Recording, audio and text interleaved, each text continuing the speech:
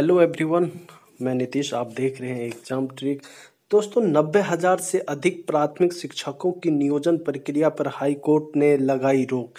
जी हाँ, नब्बे हज़ार प्राथमिक शिक्षकों की बहाली होनी थी बिहार में सूबे में जिसपे हाई कोर्ट ने जो है रोक लगा दी है। यह नियोजन काफ़ी विवाद में रहा है।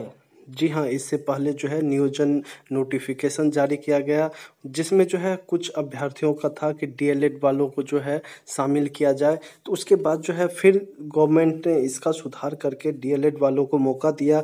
अब जो है जाके हाईकोर्ट ने ही इस पर रोक लगा दी है।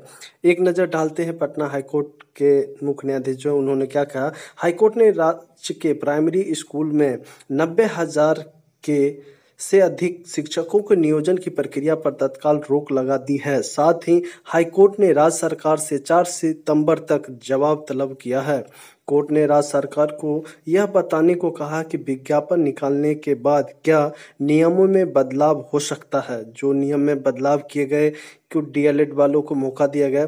कोर्ट के निर्देश दिया है कि इस बीच कोई भी नियोजन इकाई अंतिम चयन सूची को जारी नहीं करेगी। यानी कि इसकी जो है नियोजन नहीं किया जा सकता। न्यायाधीश डॉक्टर अनिल कुमार उपाध्याय की एकल पीठ ने नीरज कुमार व अन्य की रीट याचिका पर बुधवार को सुनवाई करते हुए यह निर्देश दिया। शिक्षा विभाग ने 15 जून से 31 अगस्त तक नब्बे हज़ार प्रारंभिक शिक्षकों की नियुक्ति के लिए संशोधित नियोजन कार्यक्रम जारी किया गया था। याचिकाकर्ताओं की ओर से अधिवक्ता दीनू कुमार और ऋतुराज ने कोर्ट को बताया कि राज्य सरकार ने 15 जून 2020 को एक आदेश पारित कर रहा है कि दिसंबर 2019 में सी पास अभ्यर्थी इस नियोजन प्रक्रिया में भाग नहीं ले सकते। कोर्ट को बताया गया कि यह नियोजन कार्यक्रम 2019 का ही है।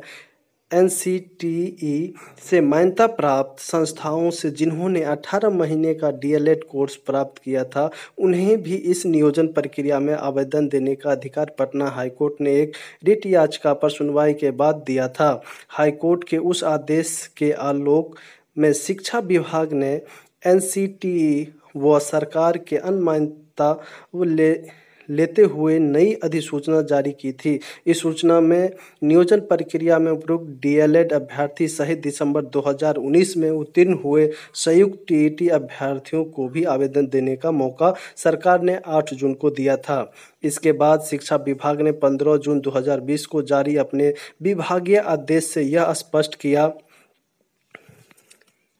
कि वर्तमान नियोजन कार्यक्रम में सिर्फ़ उपयुक्त डीएलएड अभ्यर्थी का ही आवेदन मान होगा और दिसंबर 2019 में उत्तीर्ण हुए संयुक्त टीईटी अभ्यर्थी को नियोजन कार्यक्रम में शामिल होने का अवसर नहीं मिलेगा।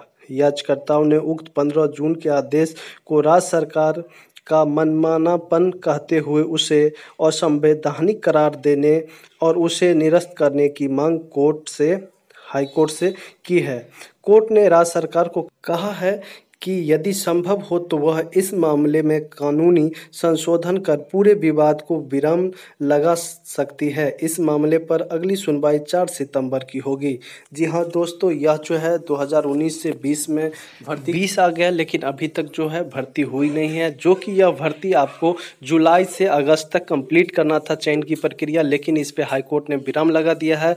अब जो है इस गवर्नमेंट में तो उम्मीद नहीं है, क्यों जल्द ही जो है चुनाव होने वाले हैं स्टेट, बिहार स्टेट का। इसीलिए जो है, इस गवर्नमेंट में तो उम्मीद नहीं है और ये सरकार की सोची समझी साजिश भी हो सकती है कि इसे रोक कर नेक्स्ट जो है गवर्नमेंट पे फेंका जाए और नेक्स्ट जो है इसका डेट एक्सटेंड किया जाए। दोस्तों, अगर आपको वीडियो अच्छा लगा हो लाइक और शेयर ज़रूर करें। Thank you for watching video